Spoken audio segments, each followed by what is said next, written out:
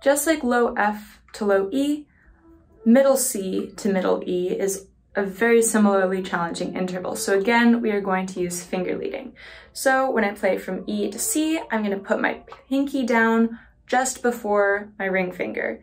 And then when I go from C to E, I'm gonna lift my ring finger before my pinky.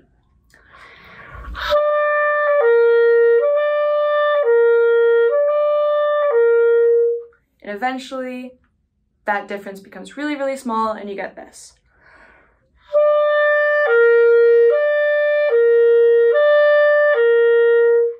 But never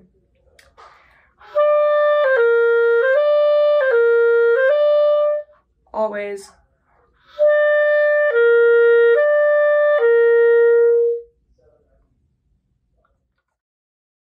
You can always return to this video by scanning the QR code in your band code binder or by searching for the QR code number in YouTube.